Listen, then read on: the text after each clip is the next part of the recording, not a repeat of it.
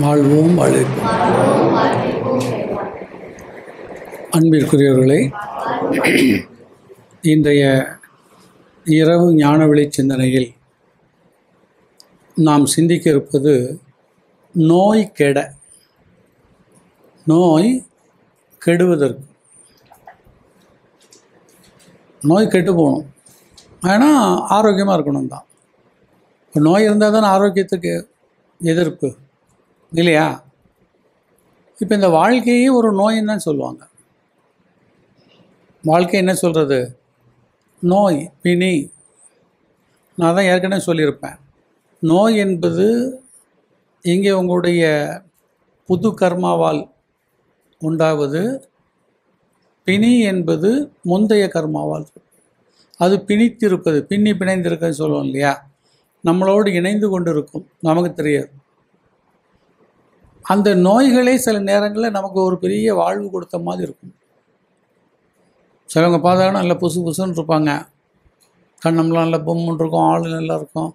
உடனே பார்க்குறோம் பாரு என்ன குண்டாக இருக்குதுன்னு. அது நோயாக இருக்கும்.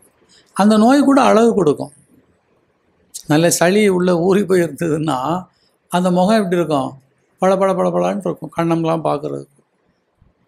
ஆனால் இட்ஸ் டேஞ்சர் நல்லா சப்பி போய் திப்பிலி மாதிரி இருப்பாங்க. உடம்பு எப்படி இருக்கும்? உருகி போய் அதை யாரும் அக்செப்ட் பண்ண மாட்டாங்க. ஒரு சதை இல்லை சதை பற்றி இல்லைம்பாங்க. ஆனால் அவங்க ரொம்ப ஆரோக்கியமாக இருப்பாங்க. நமக்கு வேண்டியது மண்ணில் உண்மையும் ஆரோக்கியமும். உண்மையும் ஆரோக்கியம்.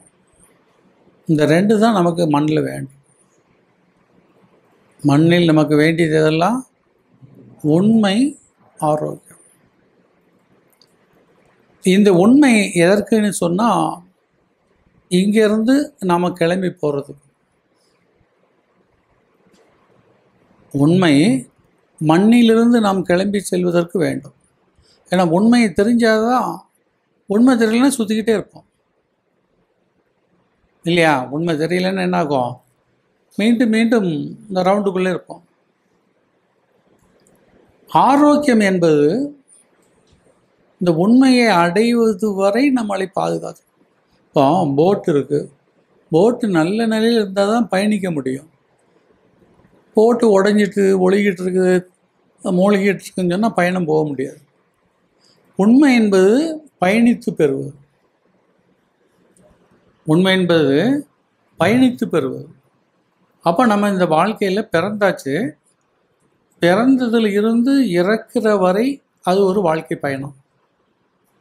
வாழ்க்கை பயணம் எதிலிருந்து? பிறவியிலிருந்து இறப்பது வரை. இந்த இறப்பதில் பார்த்திங்கன்னா ஒவ்வொரு ஆளுக்கும் நிறைய நிகழ்வுகள் இருக்கும். ஒவ்வொரு விதமாக இருக்கும். சிலவங்களுக்கு சந்தோஷமாக இருக்கும் சிலவங்களுக்கு துன்பமாக இருக்கும். இல்லையா? இ- இதுக்கெல்லாம் காரணம் என்னென்னா முன்ஜென்ம கர்மா தான் நம்ம சொல்லியிருக்கோம். இது இந்த பாடம் படித்தவங்களுக்கு தான் தெரியும்.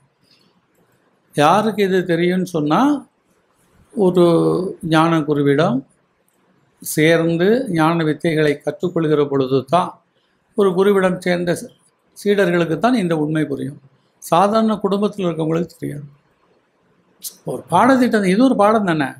சான்ஸ் சான்ஸ்கிரிட் ம- மந்திரம் சொல்லலாம் சொல்லணும்னா ஒரு குரு பிரான்ட்ட நீங்கள் என்ன பண்ணணும்? சேர்ந்து அவர்கிட்ட இப்போ வேதம் படிக்கிறவங்களாம் அப்படி தான் தினசரி போயிடுவாங்க பசங்க. இல்லையா? முழுக்க வாழ்க்கை முழுக்க அவங்க வந்து காலையில் போயிட்டு மதியம் வேலைக்கு போகலாங்கிறதெல்லாம் இருக்காது. முழுமையாக அங்கே இருக்கணும். அஞ்சு வருஷம் ஆறு வருஷம்னு அந்த வேத சிக்ஷா பாடசாலைகள் இருக்கும். சேர்ந்து அதை கற்றுக்கொள்வார்கள்.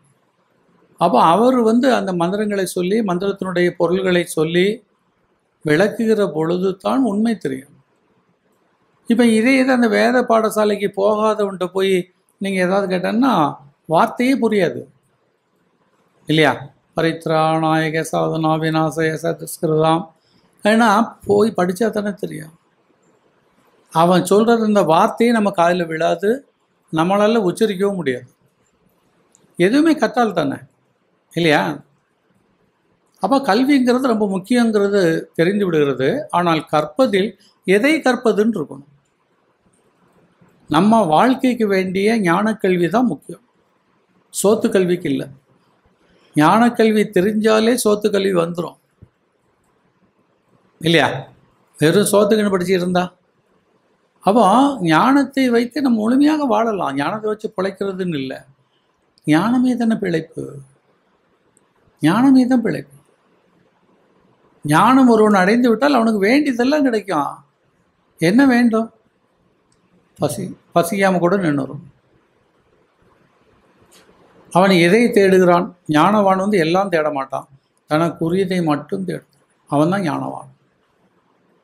யார் ஞானவான்னு கேட்டால் தனக்கு உரியது எதுவோ அதை மட்டும் தேடுவான். அப்போ தன் கர்மாவை உணர்ந்து கொண்டு இந்த ஜென்மக்கு ஏன் வந்தோம் நம்ம என்ன தெரியணும்? எது கிடைச்சா எது தெரிஞ்சால் நம்ம வாழ்க்கை முடிக்கலாம். அந்த ஒரே கண்ணோட்டம் தான் இருக்கும். ஆனால் ஞான பாடம் இல்லாதவர்கள்ட்ட பார்த்தீங்கன்னா இங்கே ஒரு வேலை பார்த்துட்டு இருப்பான். மாதம் பதினையாயிரரூவா வரும். டக்குன்னு ஒருத்தன் சொன்னான் ஏய் துபாயில் போனால் ஒரு லட்ச ரூபாம்பான் உடனே துபாய்க்கு போவான். அங்கேருந்து நீ யூஎஸ் போனேன்னு சொன்னால் மூணு லட்சம் சம்பாதிக்கலான்னு இப்படி மாறி மாறி ஓடிக்கிட்டே இருப்பான். சரி இந்த பணத்தை வச்சு நிம்மதியாக இருக்கலான்னா அங்கே இருந்துட்டு இங்கே யார்த்தையாவது ஒரு இடம் வாங்கணும்னு சொல்லி பணத்தை அனுப்புவான். அவன் என்ன பண்ணுவான்? அவன் பேரில் வீட்டை வாங்கிட்டு போயிடுவான். நிறைய நடக்கும். இல்லை அந்த இடமே வந்து ரெஜிஸ்டர் பண்ண முடியாததாக இருக்கும். இல்லையா? நிறைய இந்த நீர்நிலை இடங்கள் இருக்கும்.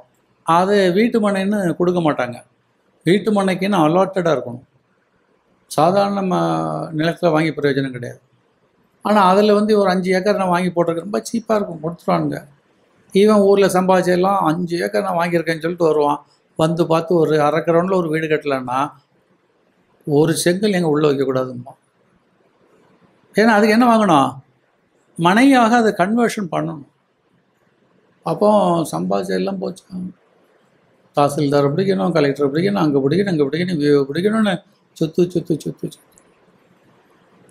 நிறைய பணம் கொடுத்து அரசியல் ரீதியில் போனால் தான் அங்கேயும் பயப்படுவாங்க. ஏன்னா பக்கத்துலலாம் வயலாக இருக்கும்போது ஓம் வீடு மட்டும் எப்படி கெட்ட விடுவான்? அப்படின்னா அந்த ஏரியாவுக்கே கொடுக்கணும்.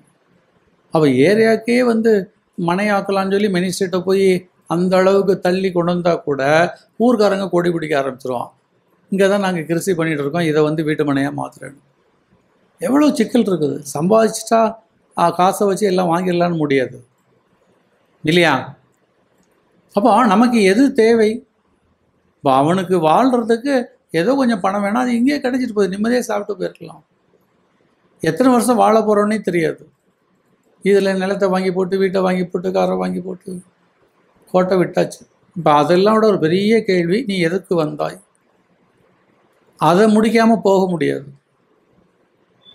இப்போ பரீட்சைன்னு ஒன்று எழுதுனா தானே நமக்கு எவ்வளோ மார்க் கிடைக்கிது? சப்ஜெக்ட் தெரியுதான்னு தெரியும். பரீட்சையே அட்டன் பண்ணலைன்னா இப்போ இந்த மாதிரி கேஸ்லாம் எக்ஸாமே போகாத கேஸுங்க வாழ்க்கையில் பாடத்திட்டமும் தெரியாது ஒரு எக்ஸாமும் கிடையாது. இவங்க பாட்டு செத்து போயிடுவாங்க அடுத்தல அடுத்த பிறவி. அப்படி போயிட்டே இருக்கும். நிறைய பார்த்தா தெரியும். அப்படியே ஒத்து பார்த்தாச்சுன்னா இதெல்லாம் எத்தனை ஜென்மா இருக்குன்னு இன்னும் எத்தனை கிட்ட ஐயோ திரும்பி பார்த்தா கூட திரும்பிக்குவேன். கண்ணை பார்த்தாலும் டேஞ்சர் கர்மா ஒட்டிக்கும். மிகப்பெரிய தொற்று நோய் கர்மா. மிகப்பெரிய தொற்று நோய். நம்ம கொரோனா அது இது மூக்கில் போட்டுக்க ஒன்றும் வேண்டாம். சும்மா அப்படி ஒரு பார்வை பார்த்துட்டாலே கர்மா ஒட்டிக்கும்.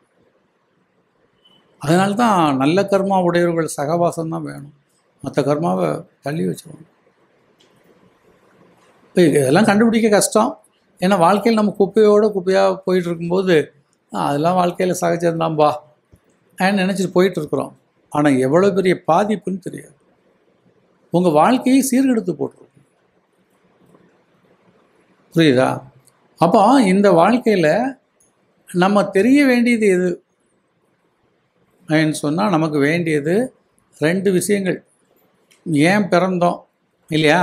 அந்த பிறந்ததுக்கு ஒரு காரணம் இருக்கும். அந்த காரணம் தான் ஏற்கனவே இருக்கக்கூடிய பழைய கர்மாவையெல்லாம் தீர்க்கிறதுக்குன்னு சொல்லிட்டோம். அப்போ அந்த பழைய கர்மாவை தீர்ப்பதற்கு எப்படி தீர்ப்பதுன்னு சொன்னால் நீ உண்மையை உணர்ந்தால் தானாக போயிடும் ஏன்னா பொய்யினால் தான் கர்மா உண்டாகி கொண்டே இருக்கிறது. எல்லாம் பொய் தான். நீங்கள் அதை உடைச்சி உடைச்சி உடைச்சி பார்த்தீங்கன்னா ஒவ்வொன்றும் பொய் விஷயமாகவே இருக்கும். ஆனால் நமக்கு அது உண்மை விஷயமாகவே தெரியும். புரியுதா? நாம் அதை உண்மை உண்மைன்னு நினச்சிட்டே இருப்போம். எப்பொழுது அந்த பொய்கள் அச்சு போகிறதோ அங்கே தான் உண்மை ஒளிர்ந்து கொண்டு இருக்கும் அந்த உண்மையை அடைவது வரை வாழ்க்கை இருக்கும். வாழ்க்கை பயணம். அதான் வாழ்க்கை பயணம். உண்மையை அடைவது வரை. இப்போ அடுத்த கட்டம் இந்த உண்மையை அடைவதற்கு நமக்கு என்ன வேணும்? ஏன்னா உடல் ஆரோக்கியம் வேணும். உடம்புல என்ன வேணும்? நல்ல சத்து இருக்கணும். உட்காந்து கேட்குறதுக்கு பொறுமையாக கேட்குறதுக்கு கேட்டதை யோசித்து பார்க்குறதுக்கு. அதுக்கெல்லாம் அறிவும் மனமும் கை கொடுத்தால் மட்டும்தான். இப்போ நான் என்னத்தை சொன்னாலும் சொன்னாங்க சொன்னாங்க. அப்படின்னு சொல்லிட்டு போயிட்டே இருப்பாங்க. இந்த காதில் வாங்கி இந்த காதில் போயிடும் அறிவுக்கு அது போடணும். இது ஏன் சொன்னாங்க? இதுக்கு என்ன பலன் இருக்கும்? இதனால நமக்கு என்ன லாபம் வருது? அதை யோசிக்கணும் அதுக்கு உடம்பு ஒத்து கொடுக்கும். இப்போ வந்து நார்மலாக நீங்கள் பார்த்தீங்கன்னா குறைஞ்சது ஒரு ரெண்டு மணி நேரம் உட்காந்து இருக்க மாட்டீங்களா இப்படி? இல்லையா? அப்போ அந்த டூ ஹவர்ஸ் அப்படியே உட்காந்து கழுத்தை தூக்கிட்டு நிமித்திருந்து சொல்கிறத கேட்டுட்டு மனசில் வச்சுக்கிட்டு அப்போ உடம்பு தெம்பாக இருந்தால் தானே இதெல்லாம் முடியும். உடம்பு சரியில்லைனா அதனால தான் உடம்பை முன்னர் இழுக்கென்றிருந்தேன். உடம்பினுக்குள் உருவொருள் கண்டேன்.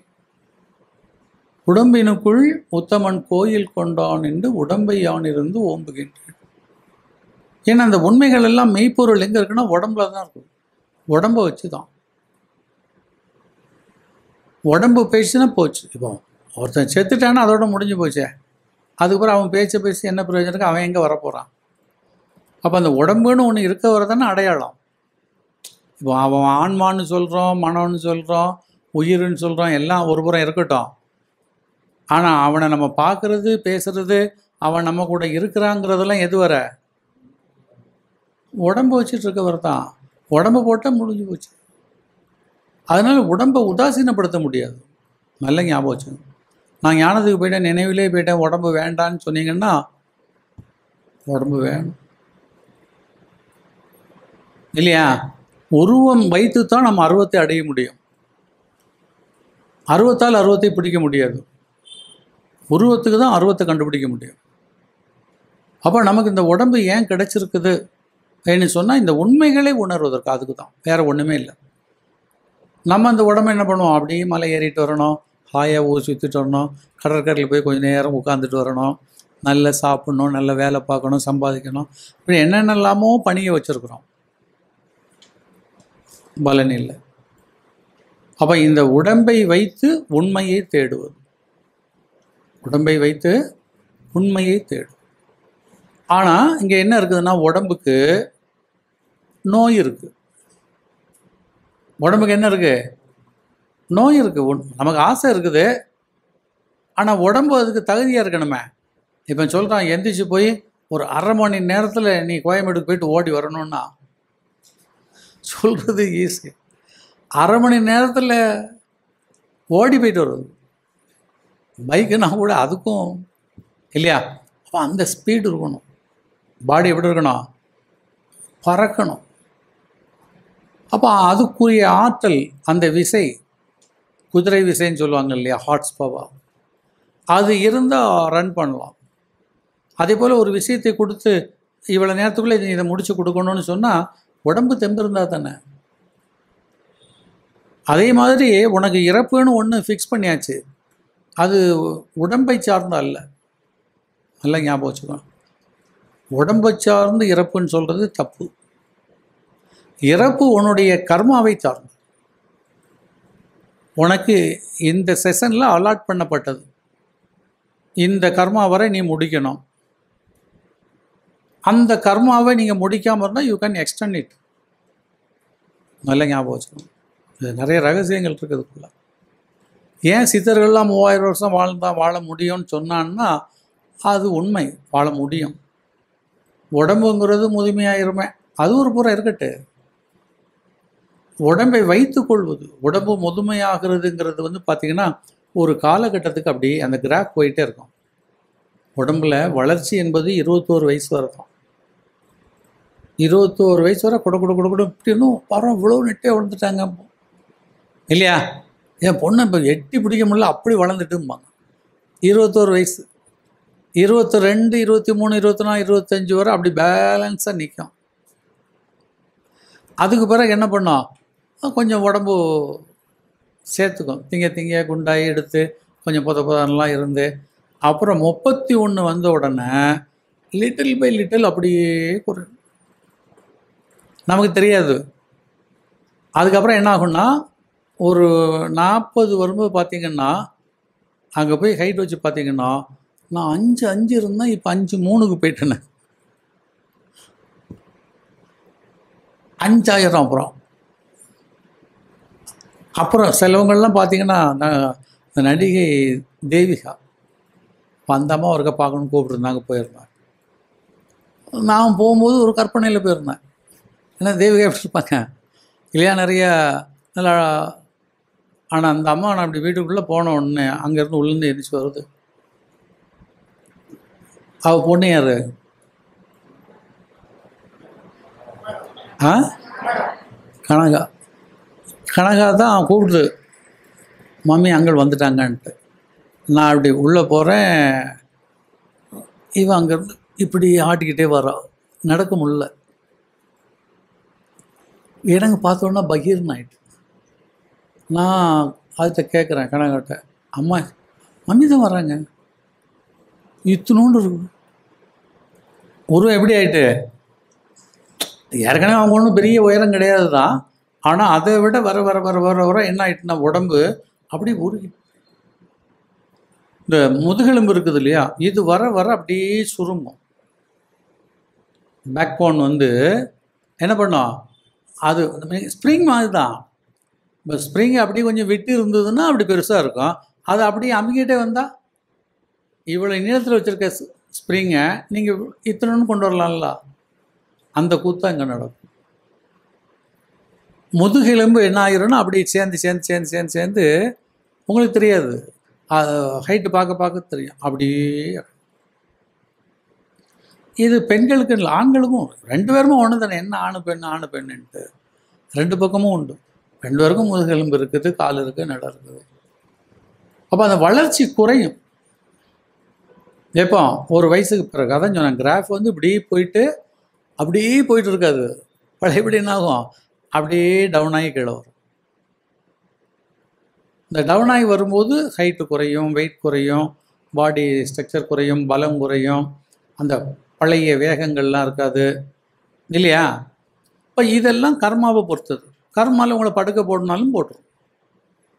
உடம்பை சார்ந்தது அல்ல நல்ல ஞாபகத்தை வச்சுக்கணும். இந்த கர்மாவை நீங்கள் இப்போ ஒருவரோட நம்ம பேசணும். அவர் எங்கிட்ட பேச வேண்டி இரு இருக்குது. கர்மா பாக்கி இருக்குதுன்னா இந்த உடம்பு தாக்கு பிடிச்சிட்டு இருக்கும். அதான் நிறைய பார்க்கலாம். அந்த சாவு பார்த்தீங்கன்னா இழுத்துக்கிட்டே இருக்கும். ஒரு ஆள் ஒன்றரை வருஷம் கிடந்தார். நிறைய பேர் ஹோமாவில் கிடப்பாங்க. சாவித்திரிலாம் மூணு வருஷம் ஹோமாவிலே இருந்தார் யாரையோ பார்க்க யாரோ பேச பேலன்ஸ் இருக்கும். அது வந்த உடனே அந்த கர்மா முடிஞ்சினோன்னா ஆல் அவுட் அப்போ சாவு என்பது உடம்பை சார்ந்ததல்ல. உங்களுக்கு கொடுக்கப்பட்ட ப்ரோக்ராம். இப்போ நீங்கள் ஆஃபீஸில் இருக்கிறீங்க வேலை பார்த்துட்டே இருக்கிறீங்க. உங்களுக்கு இன்றைக்கி வந்து இந்த ஃபைல் எல்லாம் க்ளோஸ் பண்ணி கொடுத்துட்டு போயிடணுன்னே வாட்ச்மேன் வெளியே வெயிட் பண்ணிகிட்டு இருப்பான். நீங்கள் மட்டும் உட்காந்து டைப் பண்ணிகிட்டு இருப்பீங்க. சார் நான் வந்துடுது சார் ஆ முடிச்சுட்டு வாங்க சார் ஒன்றும் இல்லை சார் அஞ்சு மணிலேருந்து ஏழு ஏழரைக்கு முடிச்சிட்டிங்கன்னு வச்சுங்களேன் சார் எல்லாம் முடிஞ்சிட்டு சார் நான் அடுத்த கட்டம் உங்களை வெளியே தள்ளி கதவை போட்டிடுவோம். முடிக்கலைன்னு சொன்னீங்கன்னா இருந்து பண்ணுங்க சார் நீங்கள் ஒம்பது மணி வரை இருக்கலாம். முடிக்கிறதா இருந்தால் உங்களுக்கு பெர்மிட்டட் கொடுப்பான். வாட்ச்மேன் வெயிட் பண்ணுவான். நீ ஏழரைக்கு முடிச்சிட்டேன்னு சொன்னால் அடுத்த கட்டம் டோர் க்ளோஸ்ட் ஒன்று வெளியே தள்ளியாச்சு அதே மாதிரி தான் இந்த பாடிக்கு ப்ரோக்ராம் செட் ஆகுது இல்லையா?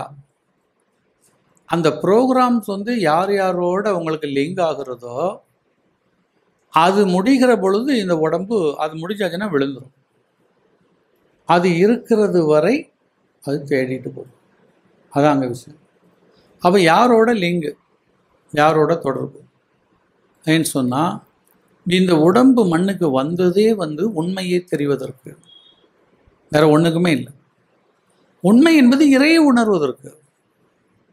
உண்மை என்பது எது? இறையை உணர்வதற்கு. அப்போ இறைகிட்ட தானே பிரிஞ்சு வந்தோம். உயிர் வெளியில் வந்துட்டுது கர்மாப்படி ஒவ்வொரு உடம்பு எடுத்துகிட்டு வருது. இந்த ஜென்மால இந்த மனித உடம்பு கிடச்சிருக்குது. இந்த மனித உடம்பு நம்மள்ட்ட இருக்குது. இப்போ இந்த மனித உடம்பையே என்ன பண்ணுதுன்னா இந்த உடம்பு எடுக்கக்கூடிய காரணம் எத்தனை பேர் லிங்க் இருக்கோ அத்தனை பேரை நீங்கள் மீட் பண்ணுறது வரை பார்க்கறது வரை பேசுறது வரை செட்டில் பண்ணுறது வரை அந்த இந்த பர்த் ஷாட் உங்களுக்கு தொடர்ந்துக்கிட்டே இருக்கும். இப்போ அவங்களெல்லாம் பார்த்து முடிச்சாச்சு. இந்த அக்கௌண்ட்டெல்லாம் நீங்கள் க்ளோஸ் பண்ணிட்டீங்கன்னு சொன்னால் அடுத்த நிமிடம் பாடிக்கு இடப்படும் நான் அதை தான் இன்னும் கொஞ்சம் விவரமாக சொல்லியிருப்பேன். எல்லாருக்கும் ஒரு ஒவ்வொரு ஜென்மாலேயும் ஒரு முக்கிய காரணம் ஒன்று இருக்கும். அந்த காரணத்திற்காக வருவார்கள். அந்த காரணம் முடிஞ்சுன்னா அதோட போயிடுவாங்க. அதாங்க. இப்போ கிருஷ்ணருக்கே அந்த தர்ம யுத்தத்தை நடத்தி கொடுப்பதற்கும் ஒரு பகவத்கீதையை வழங்குவதற்கும் அவ்வளவுதான். அப்போ அந்த யுத்த காலத்திலேயே பகவத்கீதை கொடுக்குறார். நல்லா யோசிக்கணும். உட்கார்ந்துருந்து நான் சொல்கிறேன் எழுதலாம் இல்லை. கடைசி அதுதான் அதுவரை அந்த போராட்டத்தை அசம்பிள் பண்ணுற வரை வாழ்க்கை ஓடிக்கிட்டே இருக்கும். போராட்டம் அசம்பிள் பண்ணியாச்சு. போர் நடக்கு பதினெட்டு நாள். அப்போ இவருங்க சொல்லிக்கிட்டே இருக்கிறாரு. ஒவ்வொன்றா சொல்லி சொல்லி சொல்லி. பகவத்கீதை முடிஞ்சுது. யுத்தம் முடிஞ்சுது. அவுட்டு ஆ நீங்கள் நீங்கள் வாழலாம்னு இருந்தாச்சு வாழ்க்கை என்ன ஆகி போச்சுன்னா இதுதான் முடிஞ்சு போச்சே கிளம்பணும். ஒவ்வொருத்தனும் கிளம்ப ஆரம்பிச்சிட்டான். தர்மர் கிளம்ப ஆரம்பிச்சிட்டாரு. எல்லாம் மண்டை போட ஆரம்பிச்சிட்டானுங்க. கிருஷ்ணர் என்ன பண்ணார்? இப்போ எனக்கு என்ன வேலை இருக்குது? எனக்கு வந்தது இது ஒன்று தான் முடிஞ்சு போச்சு. போய் கங்கைக்கரை ஓரத்தில் அப்படியே காலை நீட்டி படுத்து கிடக்கிறார். கரெக்டாக அம்ப விட்டான் ஒருத்தன். அது பெருவரலில் வந்துச்சு. அவ்வளவுதான். ஆன்னு சொல்லிட்டு இழுத்தாரு உயிர் போச்சு. வெறும் புல் தற்பை புல். புல்லுக்கும் உயிர் போகும். இரும்புக்கு தான் இல்லை. அப்போ எதுக்கு போகணும்னா அந்த கர்மா அதில் போயிடும் அப்போ நல்லா சிந்திக்கணும் நீங்கள் இந்த உடம்பை வந்து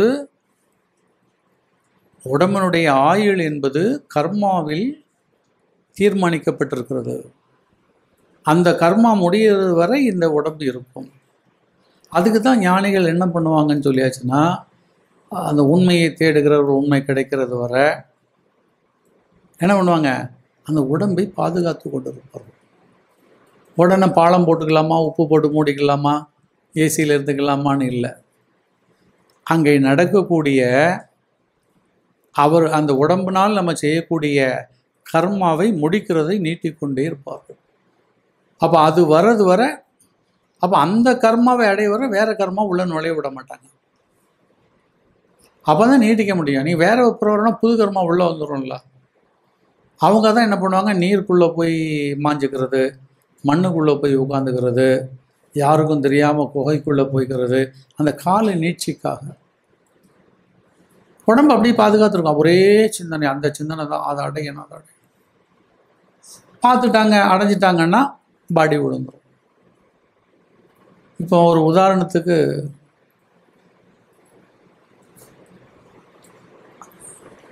கா யார்?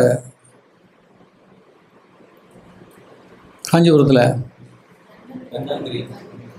தங்கந்தர் இப்போ அவருக்கு வந்து அவர் ஒரு குரு நிலையில் தான் இருக்கிறார். இறையை பார்க்கணும் அப்போ இந்த ஜென்மாலே அதை முடிச்சிடணும். ஏன்னா அவர் சீடர்களுக்கெல்லாம் அவர் வழி காட்டி விட்டார். எனக்கு இனி தொடர்பு வேண்டாம். நான் முடிச்சிடணுங்கும் போது என்ன பண்ணுறாருன்னா அவருடைய இதில் இறையை பார்க்க வாய்ப்பு இருக்குது அப்போ அதுவரை நாம் இருப்போம். எதுவரை? அது ஒரு ஆயிரத்தி முந்நூறு வருஷத்துக்கிட்ட ஆகும் அப்போ அதுவரை தக்க வைக்கிறதுக்கு வேற எல்லா தொடர்பும் இல்லாமல் மண்ணுக்குள்ளே போய் உட்காந்து ஒற்றை சிந்தனை ஒரே சிந்தனை. ஒன்றின்றிரு தெய்வம் ஒன்றென்றிரு. வருவார் பார்ப்பேன் பார்த்தார். அதே உருவம். பார்க்குறார். அப்போ பார்த்தாச்சுல ஆனால் பார்த்தாச்சு. இப்போ அவருக்கு ஆயுள் நாங்கள் சொன்னது முப்பத்தெட்டு வருஷம் நான் அப்போ சொன்னேன். ரெண்டாயிரத்தி ஏழில் இல்லையா இப்போ வருஷம் என்னாச்சு இது? ஏழுக்கு பிறகு. பதினஞ்சு வருஷம் ஆகுது. இல்லை? அப்போ முப்பத்தெட்டுக்கு பதினஞ்சு போச்சுன்னா இன்னும் எவ்வளோ இருக்கும்? இன்னும் ஒரு இருபத்தி மூணு இருக்கும். இல்லையா?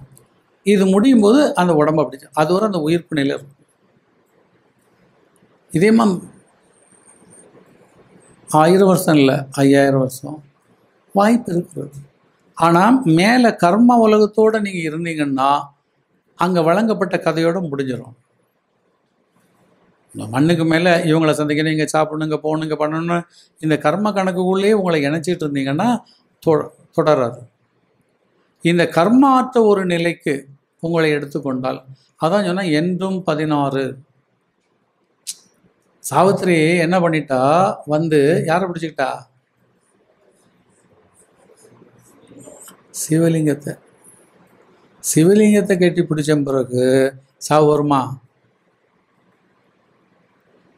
பாசக்கயிறு எங்கே கொண்டு போடணும்? லிங்கத்தோடல சேர்த்து போடணும். அப்போ இவ இழுக்க முடியும். இவ யாரை கட்டி பிடிச்சிட்டு இருக்கா? அப்படிதானே கதை சொல்லுது? நான் கதை சொல்லலை. இல்லையா? அப்போ அந்த உண்மை நம்ம உணரணும். இறையை பற்றி பிடிக்கின்ற பொழுது இறப்பில்லாத அதுதான் திருவள்ளுவன் சொன்னார். நீங்கள் நல்ல ஒவ்வொன்றுக்கும் அப்படி எடுத்துகிட்டே வரணும். பத்துக பத்தத்தான் பத்து பத்துக பத்து பத்து விடர். கண்டதெல்லாமே பிடிச்சி நிற்கக்கூடாது அப்போ ஒவ்வொன்றா நீங்கள் தாண்டி தாண்டி தாண்டி வரணும். உண்மையை நோக்கி. உண்மை எது? நிரந்தரமாக இருப்பது சாஸ்வதமாக இருப்பது. ஒன்றாக இருந்தால் உண்மை ஒன்று ரெண்டானால்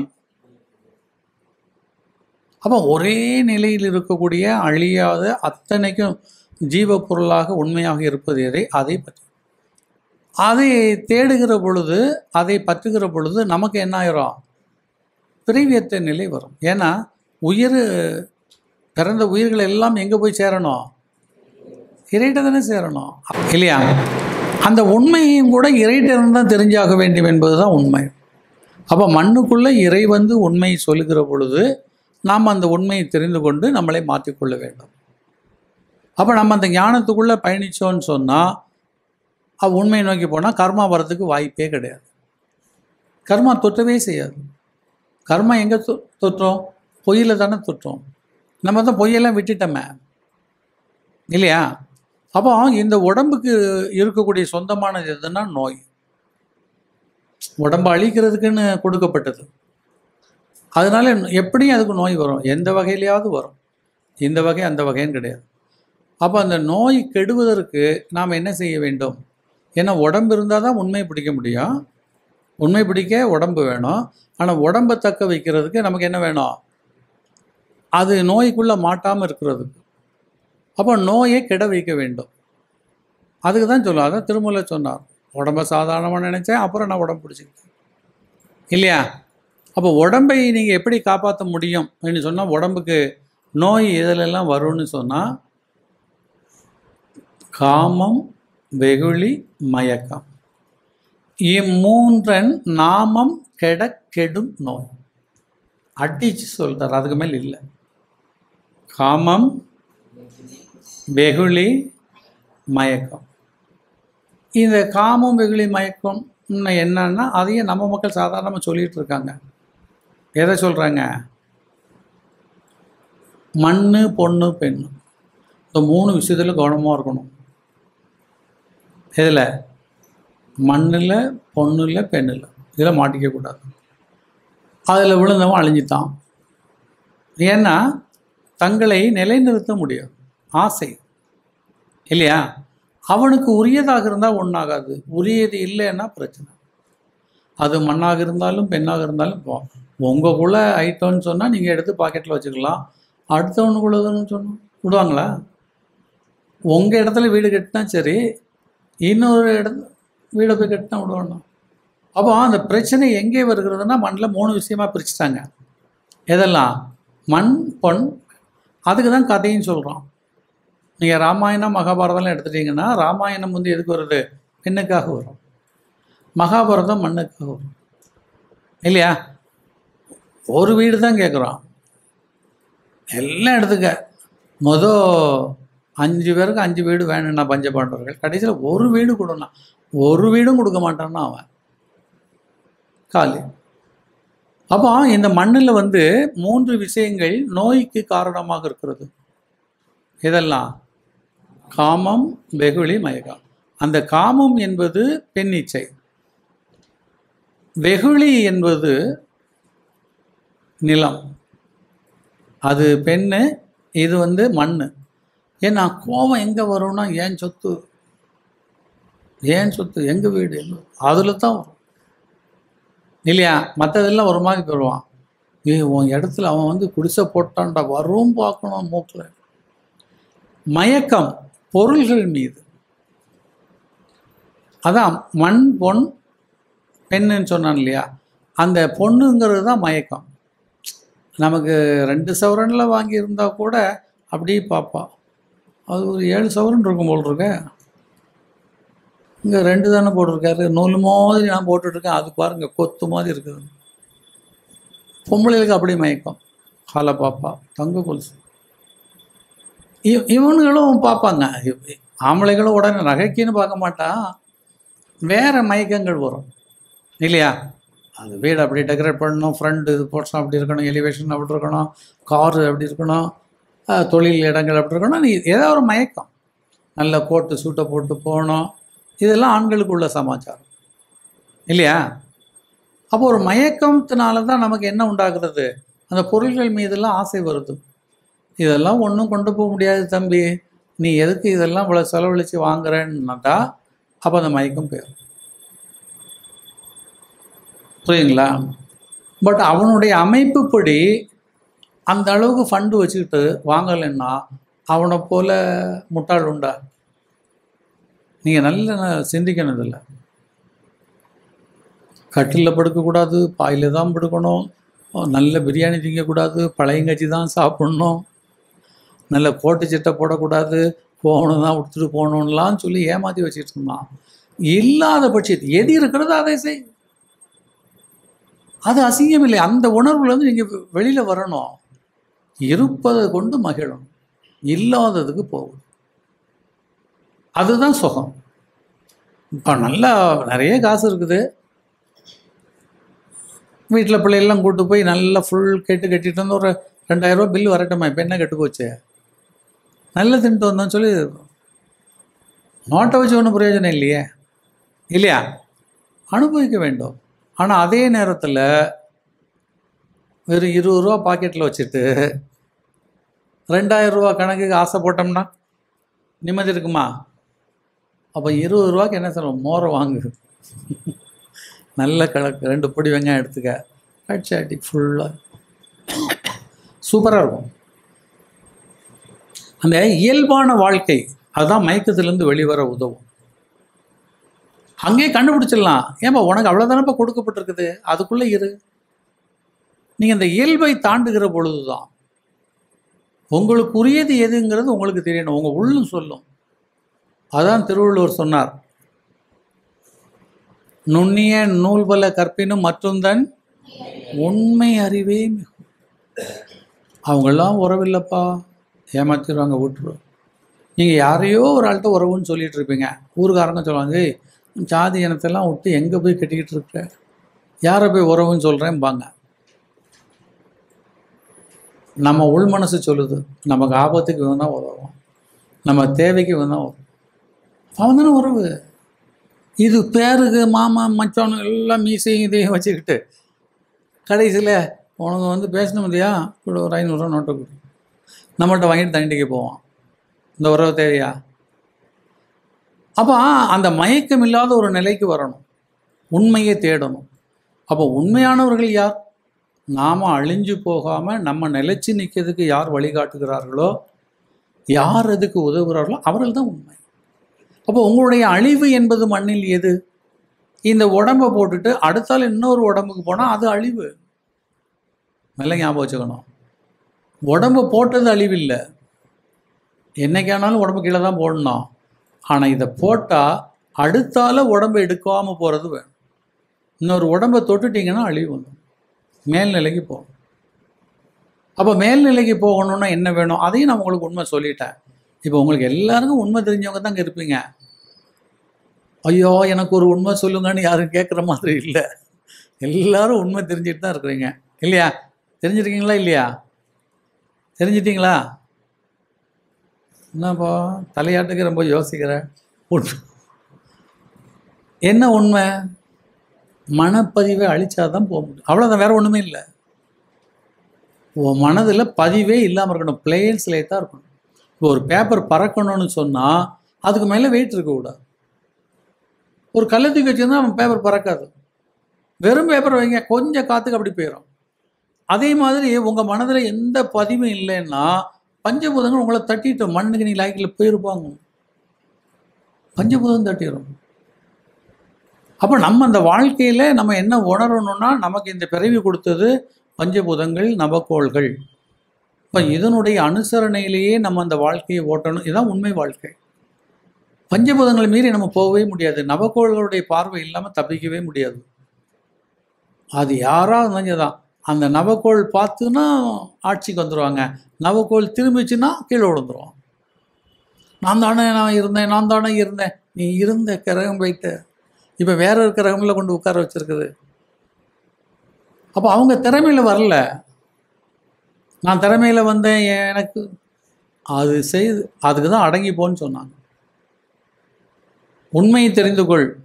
உன் பலத்தில் ஒரு துளி கூட கிடையாது. அது பார்த்தது நீ ஜெயிச்ச. அது திரும்பிச்சு நீ விழுந்துட்ட. அதே போல் அந்த கிரகங்கள் பார்க்கும்போது உங்களுக்கே தெரியும் நமக்கே இப்படியோங்கிற மாதிரி இருக்கும். இது எப்படி நமக்கு வந்து மாட்டுச்சுன்னா அந்த கிரகம் பார்க்கும். குரு பார்க்குதுன்னு வச்சுங்களேன் என்னென்னலாமோ நடக்கும்.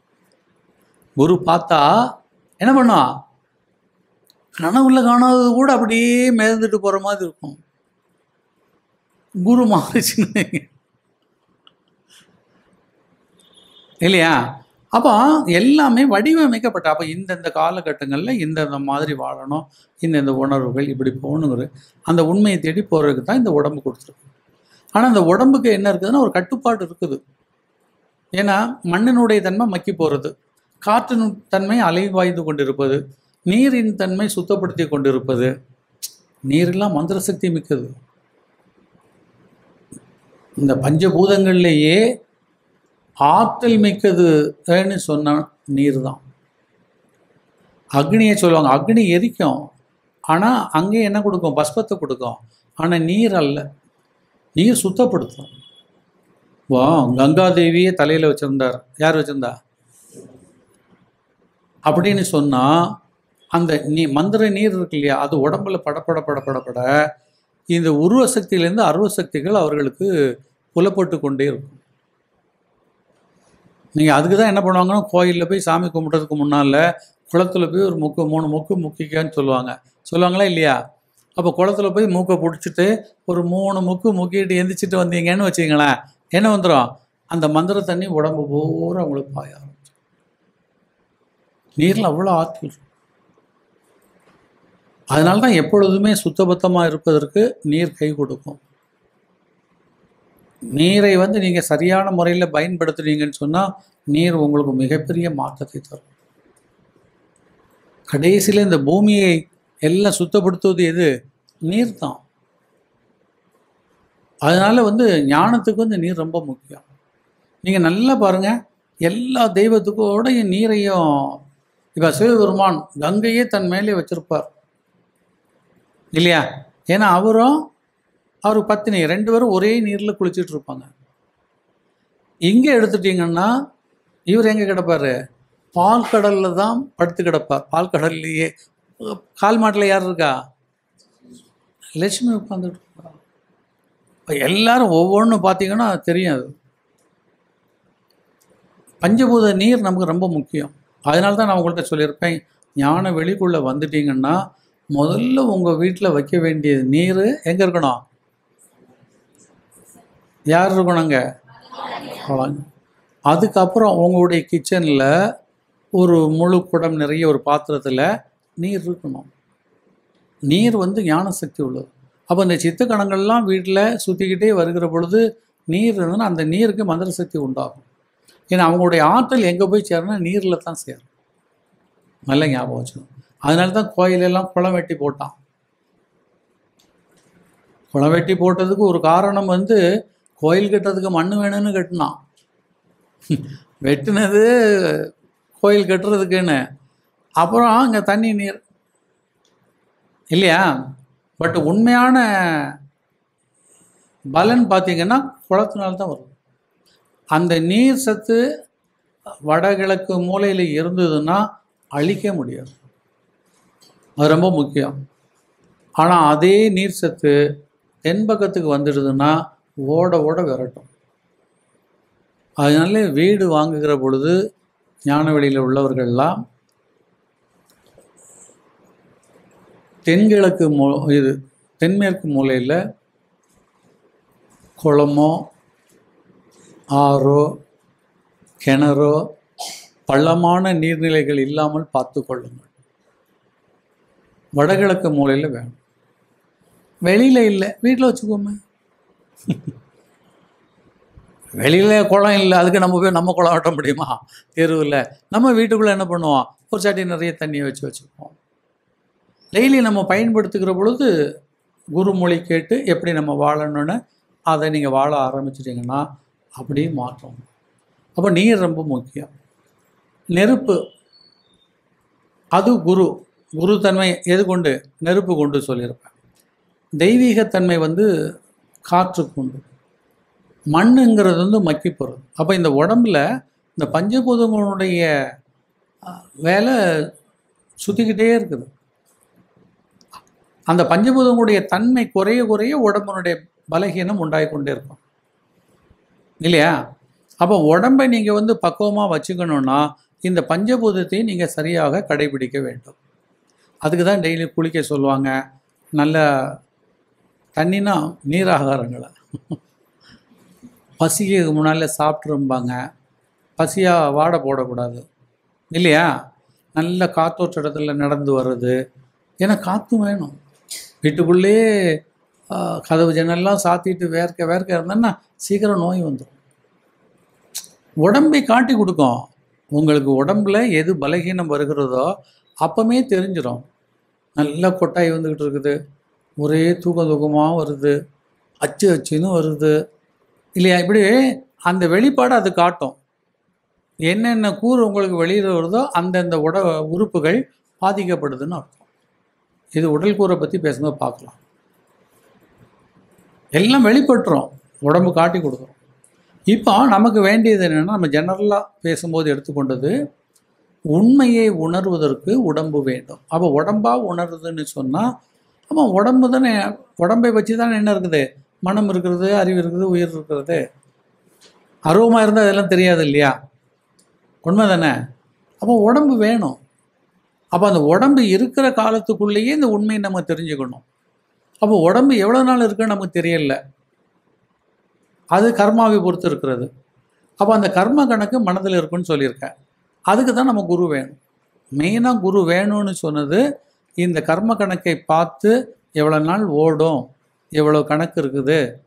ஒரு சில ஆள்கள் எல்லாம் நீங்கள் பார்க்கவே கூடாது பேசக்கூடாதுன்னு சொல்லியிருப்பேன் அப்படி நான் ரெண்டு பேரும் சொன்னேன் ஒரு காலகட்டங்களில். கேட்கல. ஏன்னா அவனை பார்த்துட்டேன்னா அவன் செத்துருவான். யாரை பார்த்துட்டா?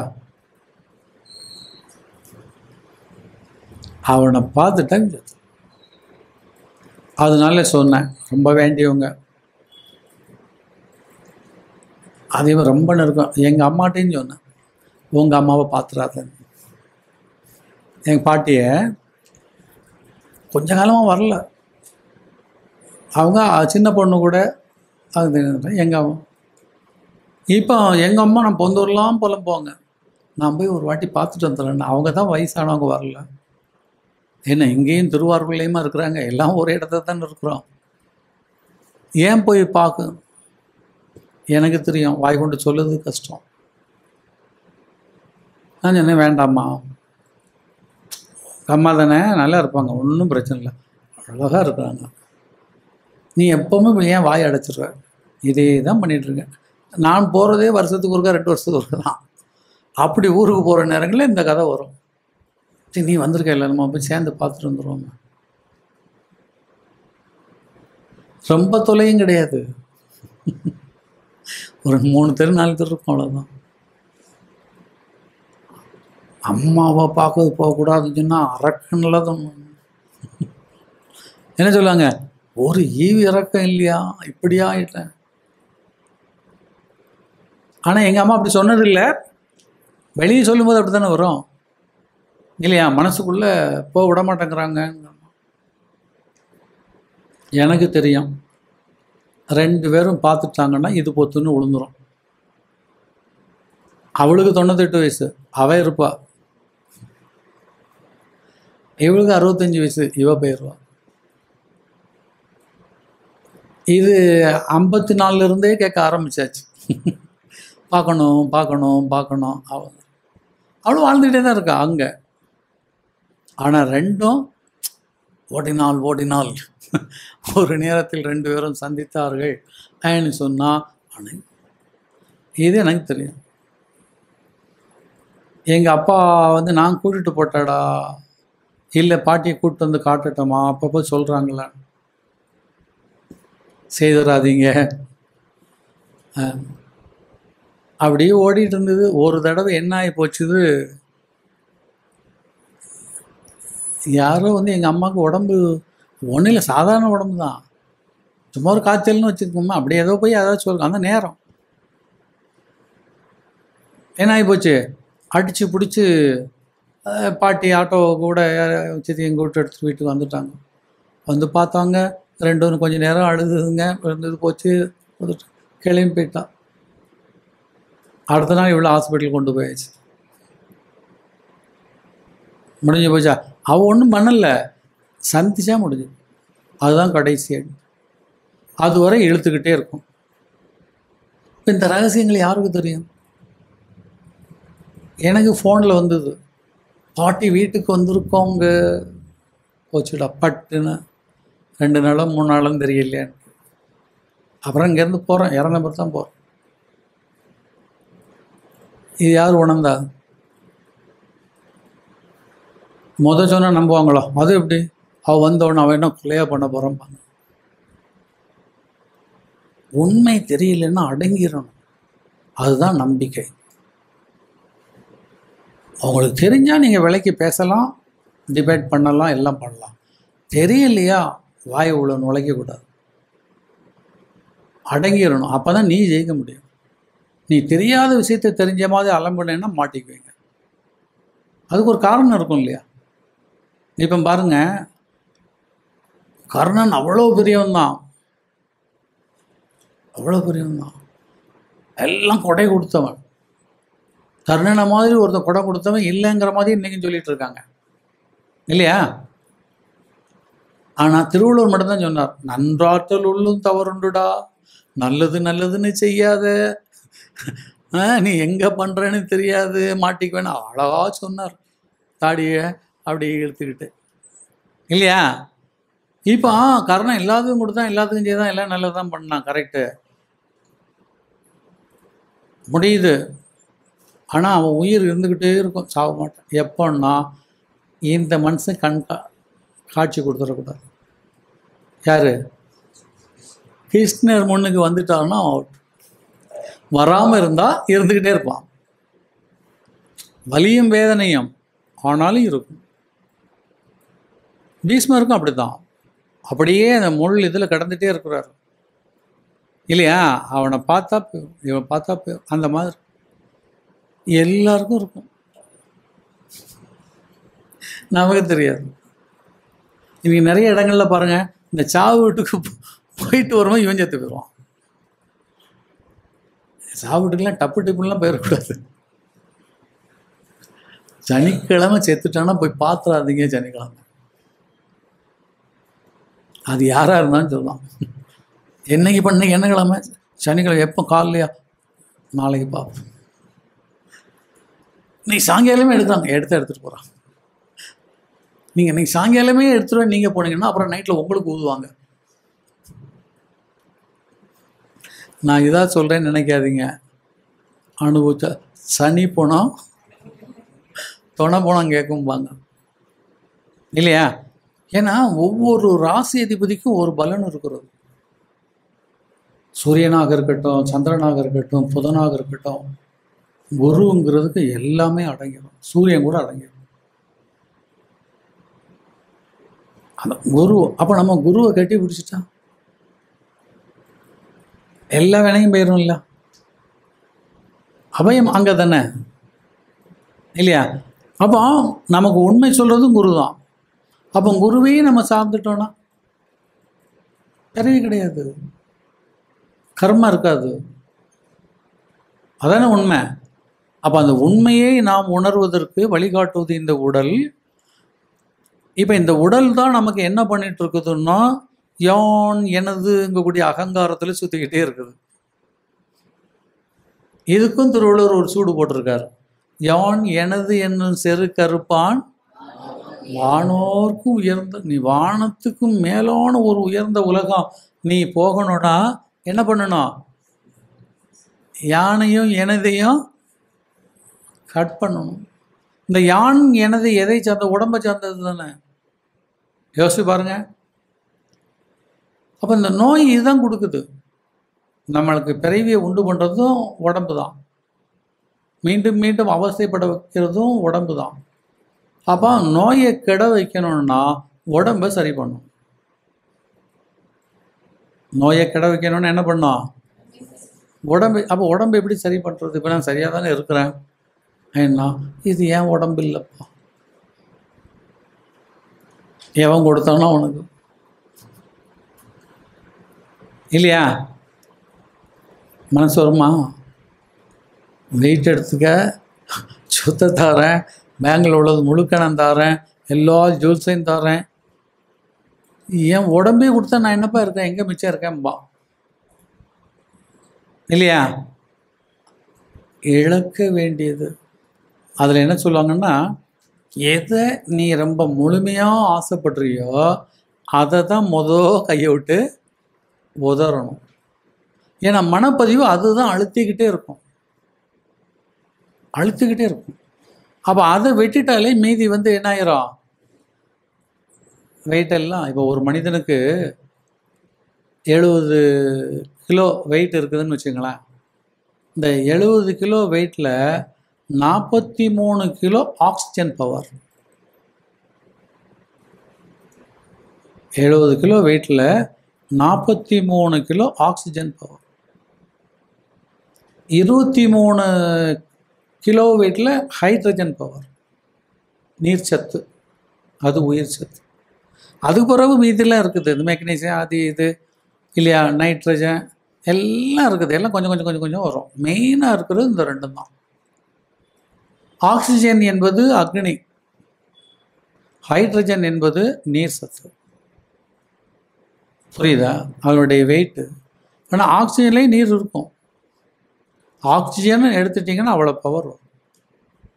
அப்போ இந்த உடம்பு என்ன இருக்குன்னா ஒரு மூலக தாதுக்களினுடைய கூட்டு தானே. இல்லையா?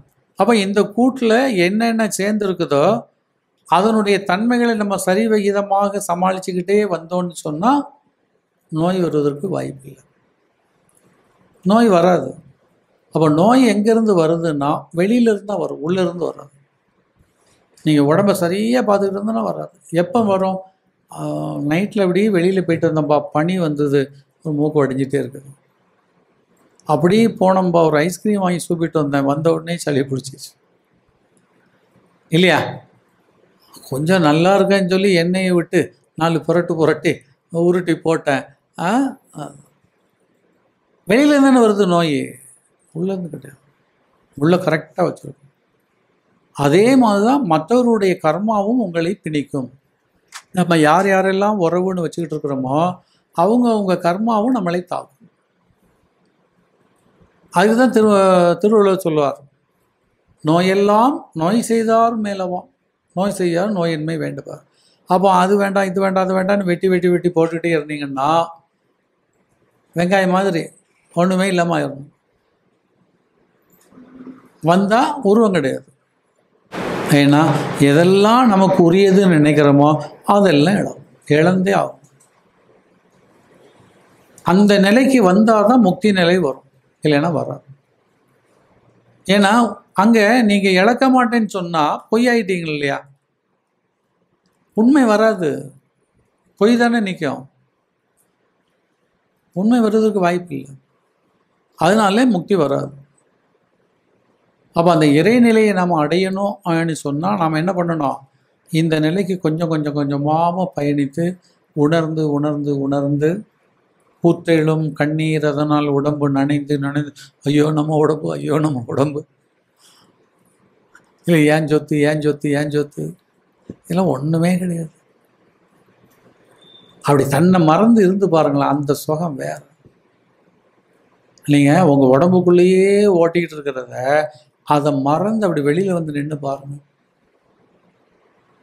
அந்த கோள்களும் அப்படியே விடாது இந்த உடம்பு. பிடிச்சி வச்சுக்கும். அப்போ இதை கட் பண்ணதுக்கு தான் என்ன பண்ணிடணும்? ஏன் இது இல்லைப்பா? உங்கள் அறிவை ஒதுக்கி வைத்து விட்டு நடக்கும் அப்போ தான் முடியும். அப்போ இந்த வாழ்க்கை அமைப்பு நமக்கு எப்படி இருக்குதுன்னு சொல்லியாச்சுன்னா உடம்பு மூலமாகத்தான் நீங்கள் கரையேற முடியும் தான் படகு. இல்லையா? எது படகு? இந்த உடம்பு படகு. இதன் மூலமாக தான் போனோம் அதனால் உடம்பை உதாசீனப்படுத்த முடியாது. பட் இந்த உடம்பை என்ன பண்ணால் நம்ம பயணித்து முடிக்கிறது வரை பாதுகாக்க வேணும். அப்போ பயணித்து முடிப்பது என்பது எப்பொழுது இந்த உடம்பை நாம் விடுகிறோமோ அதான் பயணம் முடியும். அப்போ என்னைக்கு விடுகிறதுன்னு சொன்னால் என்னைக்கு உண்மை தெரிகிறோமோ அப்போ அது கலந்து அப்போ உண்மையோடு நாம் ஒன்றுகின்ற பொழுது உடம்பு தானாம். மறைஞ்சிரும். செத்து கூட தரையில் விழாது. அதான் பெரிய ரகசியம். புரியுதுங்களா? அப்போ நாம் என்ன பண்ணணும்? இந்த உடம்பு இருக்கும்போதே உண்மைகளை தெரிஞ்சிடணும்னு சொல்லி கொஞ்சம் கொஞ்சம் கொஞ்சம் கொஞ்சமாக எதெல்லாம் போய் எதெல்லாம் போய் விடு விடு விடு விடுன்னு எங்கெல்லாம் மனப்பதிவு நம்மளை அழுத்துகிறது நம்மளை சிந்திக்க வச்சிட்ருக்குது. எது நமக்கு துன்பத்தை தருகிறது என்கிறதெல்லாம். ஏன்னா ஒவ்வொரு ஆளுக்கு ஒரு மனசு ஒரு உயிர் தான். ரெண்டு பேர் மூணு பேர் நாலு பேரெல்லாம் உறவு கொண்டாடுவது வந்து நம்ம உலகம் கற்றுக் கொடுத்த பாடம். தனி முறையில் பார்த்தீங்கன்னா தனித்தனி சிஸ்டம் தானே உங்களுக்கு. உங்களுக்கு பைசா சாப்பிடுவீங்க. இல்லையா? உங்கள் சிஸ்டம் தனி. அதுக்காக நம்ம அடுத்தவங்களை கெடுக்கக்கூடாது. அடுத்தவங்களை அவஸ்தைப்படுத்தக்கூடாது. அவரவர்களே வாழ விட்டுரும். நீ உன் கர்மா போய்க்கப்பா நீ உன் கர்மா போ. அப்படி நினச்சி பாருங்க. அங்கேயே ஃபிஃப்டி பர்சன்ட் நீங்கள் ஜெயிச்சிட்டீங்க.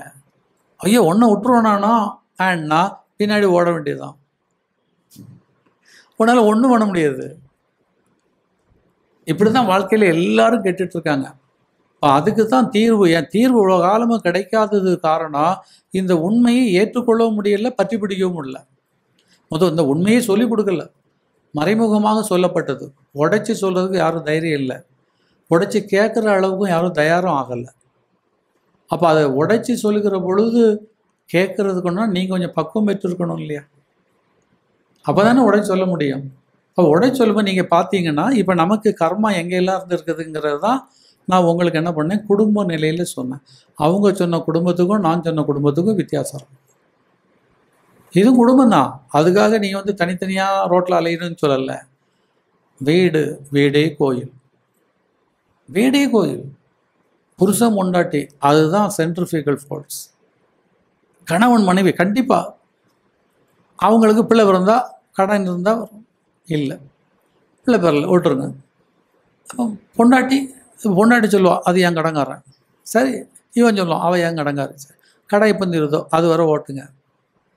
இதுக்கு முன்னால் அப்பா இருக்காங்க. அப்பா அம்மா. அவங்க என்ன சொல்லுவாங்க? நான் பெற்ற பிள்ளை. அப்போ அவங்க கடன் இருக்குது இவ்வளவு தான் உங்களை மெயினாக வந்து சொல்ல முடியும். அண்ணன் வந்து என்னால் தான் நீ பிறந்தேன்னு சொல்ல முடியாது. அம்மா அப்பா சொல்லலாம். பிள்ளையை நீங்கள் சொல்லலாம். இல்லையா? அப்போ பொண்டாட்டி என்னால் தான் நீ பிறந்தேன்னு சொல்ல முடியாது. ஆனால் பொண்டாட்டியை வச்சு தான் குடும்பம் ஓடுது. ஏன்னா நீங்கள் கொண்டு வந்த கடன் எங்கே இருக்குன்னா அவங்க கையில் தான் இருக்குது ஒரு குடும்பமே எங் குடும்பம்னு நம்ம சொல்கிறதே வித் ஒய்ஃப் ஸ்பவுஸ் இல்லையா? அப்போ அந்த பிணைப்பை நம்ம வந்து உடைக்கக்கூடாது ஏன்னா உடைக்கவும் முடியாது. ஏன்னா க கடன் இருந்ததுன்னா ஒட்டி ஆகும். எங்கேயாமல் ஒரு இடத்துல சேர்ந்துருவாங்க. இங்கே ஊரில் பேசவே மாட்டாங்க. இவன் அவன் நான் கோயம்புத்தூரில் வேலைக்கு போகிறேன்ப்பா இவன் நான் வந்து விருதுநகருக்கு போகிறேம்மா அப்புறம் மதுரையில் இருந்தவரும் மீட் பண்ணிடுவாங்க. முடிஞ்சு போச்சு. ஜென்ம கடன் யாரை விடா? இங்கே நம்ம சென்னையிலேருந்து சிங்கி அடிச்சுக்கிட்டே இருக்க வேண்டியதுதான். அது கோயம்புத்தூர் போச்சு கோயம்புத்தூர் போச்சு. சரி விடுங்க. இல்லையா? கர்மா சேது. அதுக்கு தான் முதல்ல ஒரு குருவை தேடி குரு மூலமாக கர்ம பாடங்களை உணர்ந்து நம்ம எந்த கர்மாவில் இருக்கிறோம் எந்த லெவலில் இருக்கிறோம் இதை தெரிந்து கொண்டு நீங்கள் பயணிச்சிங்கன்னு வச்சுங்களேன் அதுக்கு மேலே ஒன்றுமே இல்லை. இந்த வழியில் போகாமல் என்ன பண்ணிட்டு இருக்கான்?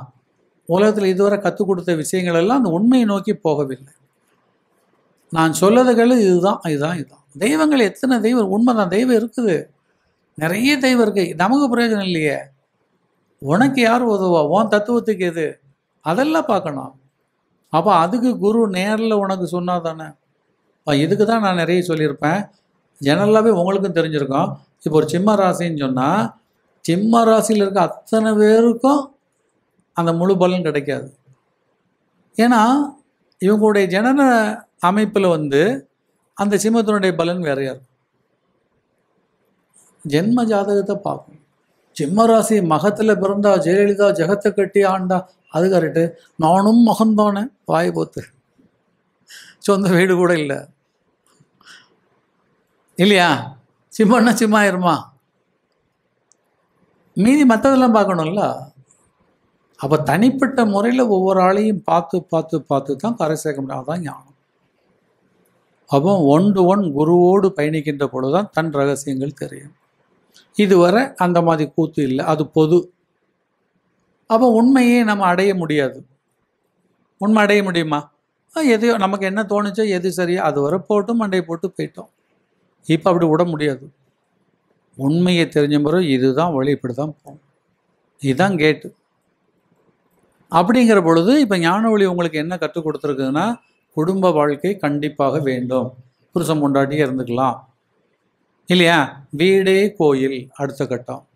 மூணு சித்தர்களை வைத்து கொள்ளுங்கள். உங்களுக்கு எந்த சித்தர் உதவுவார்களோ அது உங்களுக்கு நடக்க ஆரம்பிச்சிடும்.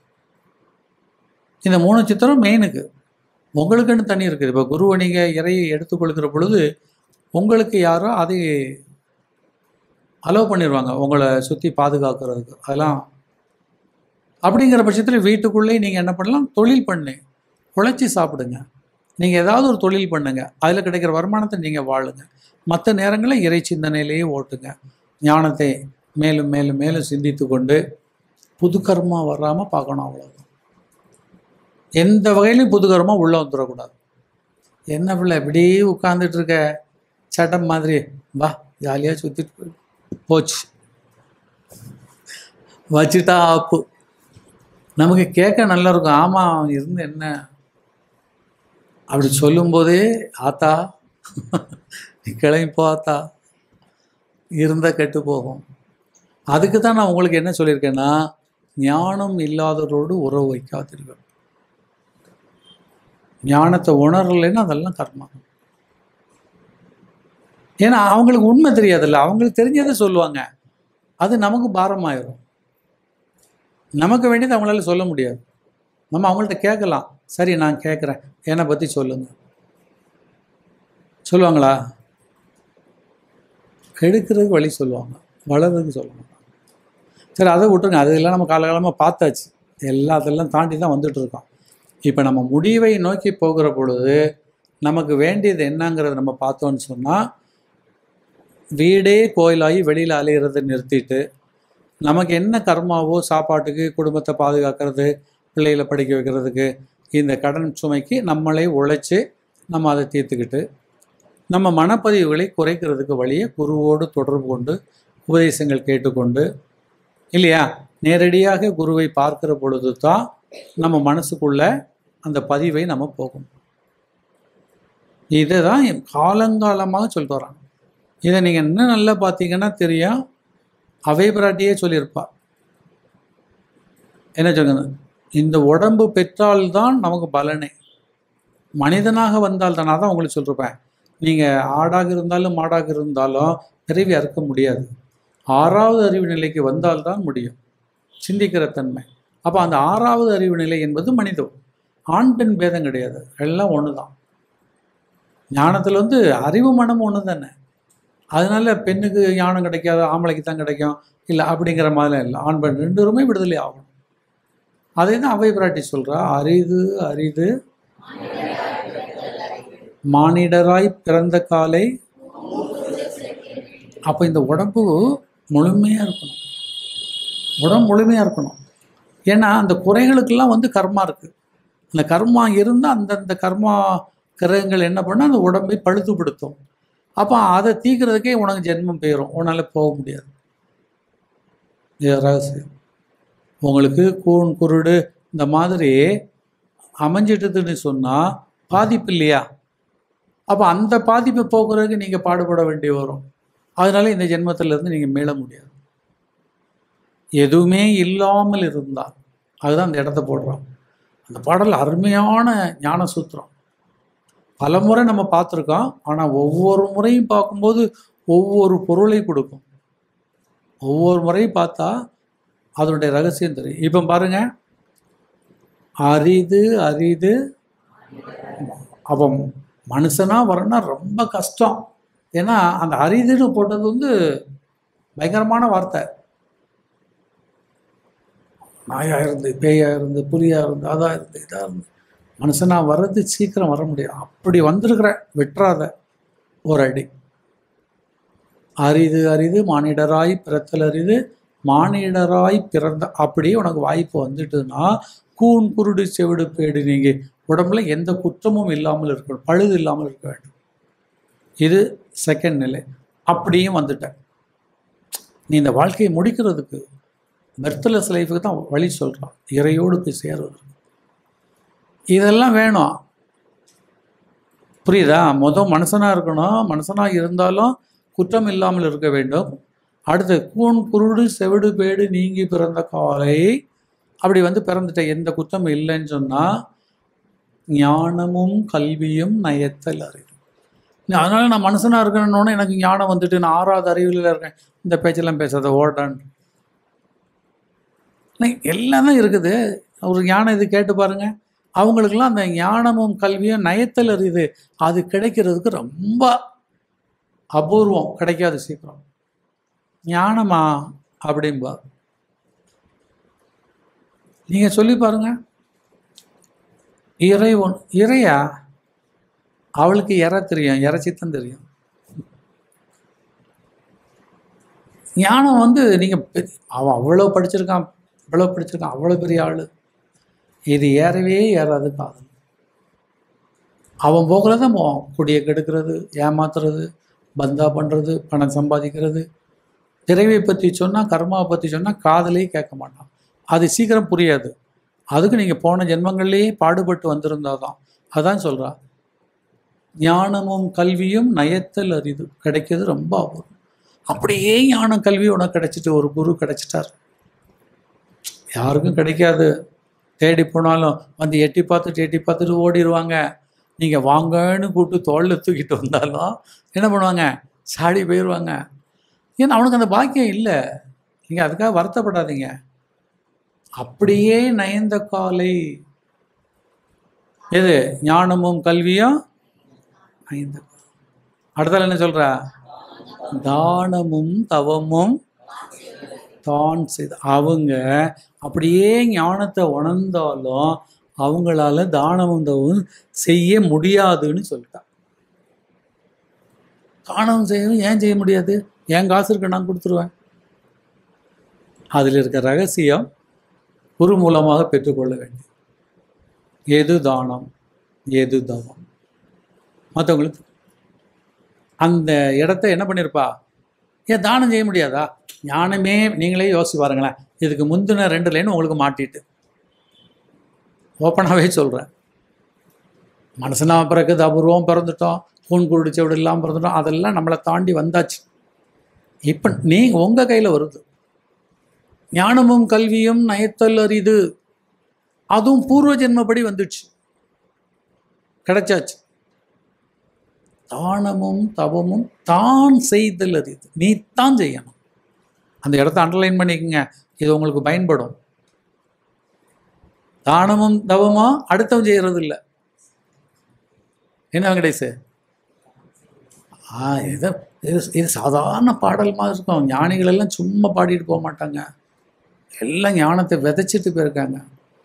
யாருக்கும் தெரியல. என்ன பண்ண முடியும்? அதனால தான் விமோச்சனை இல்லை.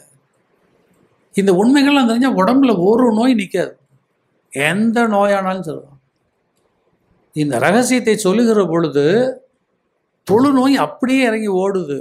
அது உணர்கிற பொழுது. நிறைய இதுக்கு சொல்லலாம் எக்ஸாம்பிள் இருக்கு. நல்ல ஞாபகத்தில் வச்சுக்கோங்க.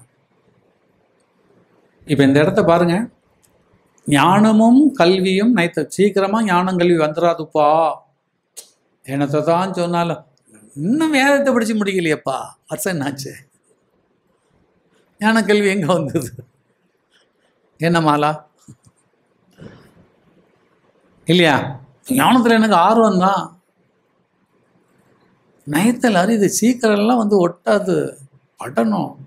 நெருப்பில் கிடக்கிற புழு மாதிரி அந்த உணர்வு வேக வரணும் இப்போ ஞானமும் கல்வியும் நயத்துச்சு கிடைச்சிச்சு. கையில் இரவேதம் வச்சுருக்கோமே? உபதேசம் கேட்டிருக்கோமே. எல்லாம் கிடச்சாச்சு. அடுத்தால ஒரு போடு போடுறா. முக்கியமான என்னது? தானமும் தவமும் தான் செய் உன்னாலே செய்ய முடியாது பாப்பா. எதுக்கு இதெல்லாம் கேட்டுட்ருக்க செய்துருவேன் ஆ சரி. குருட்ட குரு விளக்கணும். குருவிடம் பெறக்கூடிய உண்மை. தானமும் தவம். இந்த தானமும் தவமும் மாட்டிச்சின்னு வைங்களா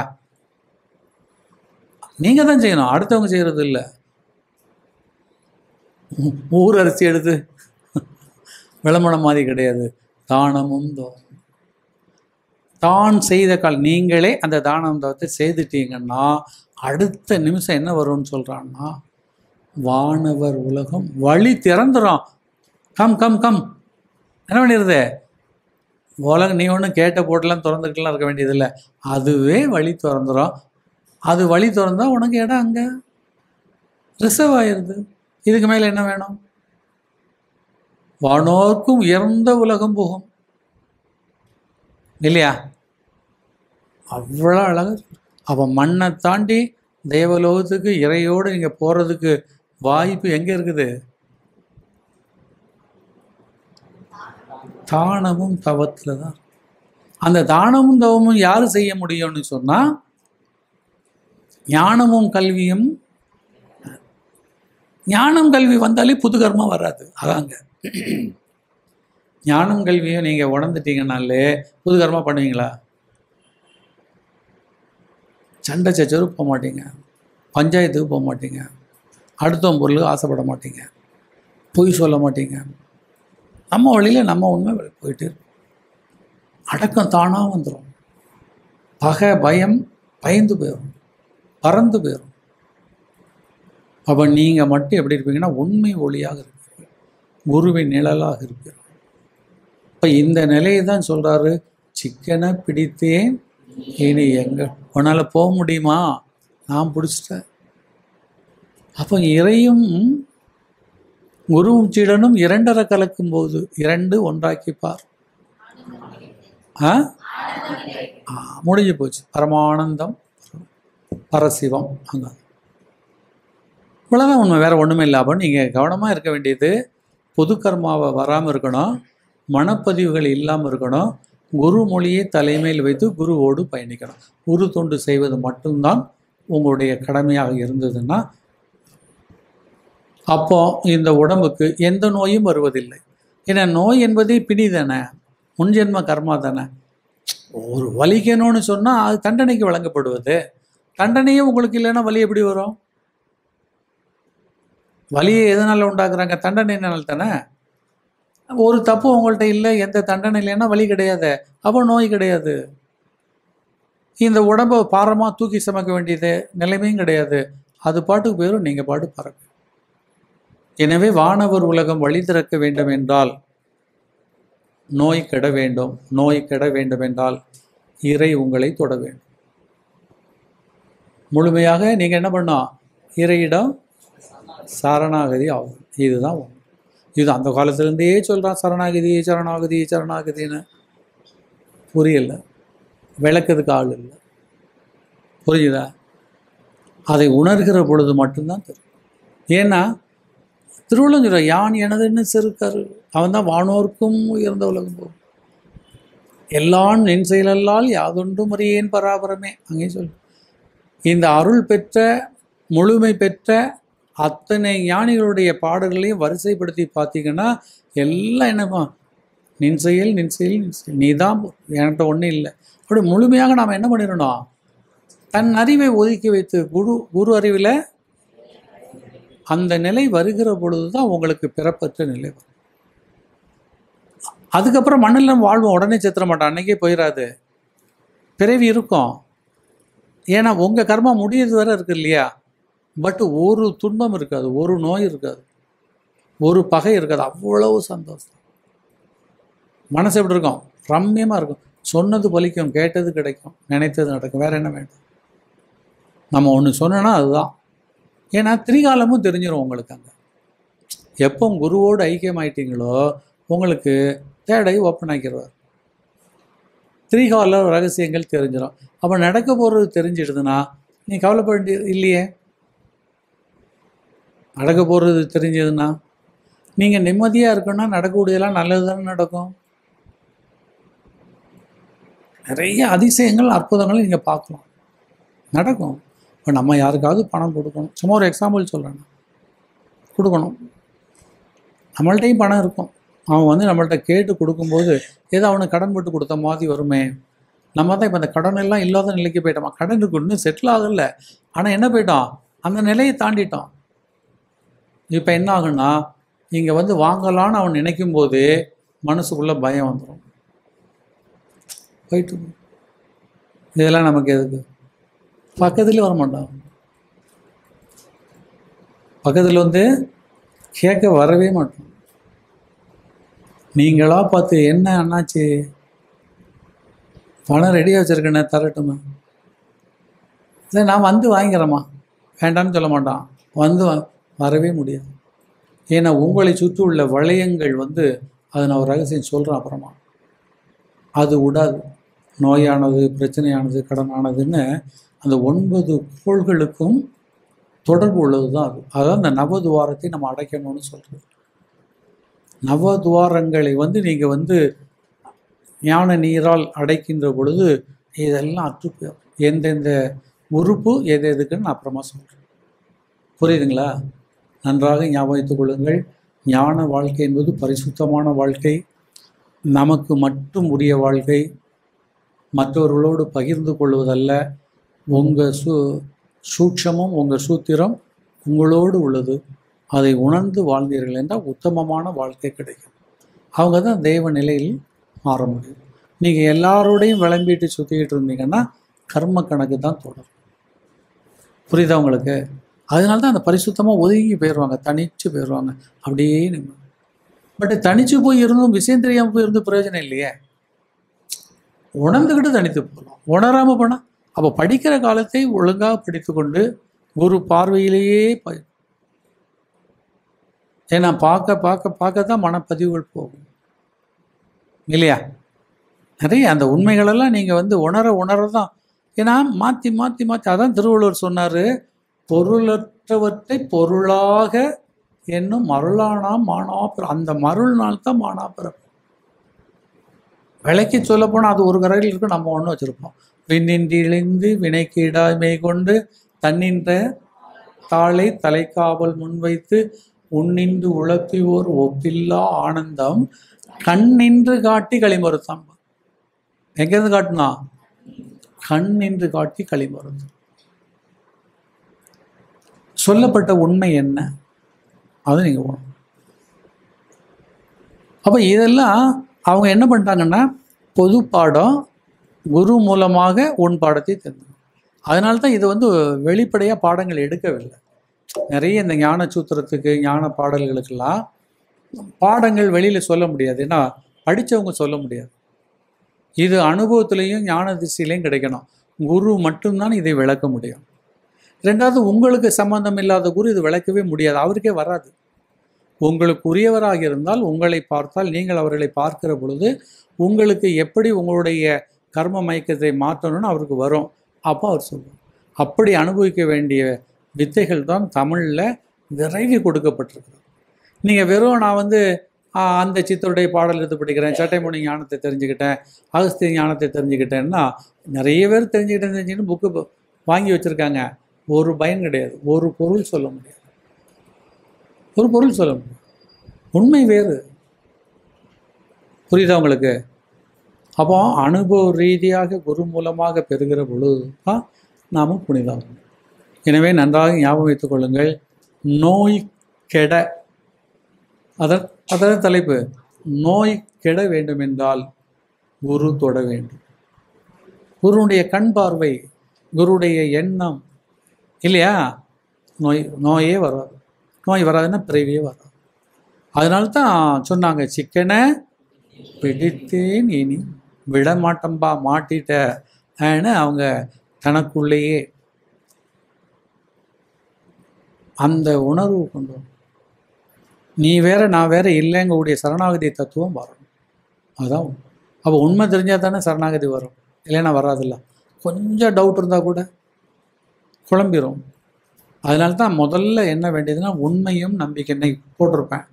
ஞான வெளி வாசிகள் அவங்கள மாற்ற வேண்டும் என்றால் உண்மையும் நம்பிக்கை உண்மை தெரியணும் அதை நம்பிக்கை மூலமாக தான் பெற முடியும். இல்லைன்னா முடியாது. சரிதானா? எனவே ஞான வெளியில் வழங்கப்படுகிற உண்மைகள் எல்லாம் நம்பிக்கையோடு பெற்று பிறப்பற்ற நிலை அடையுங்கள் என்று சொல்லி இந்த உபதேசத்தை நிறைவு செய்கிறேன். வாழ்வோம் வாழ்வோம்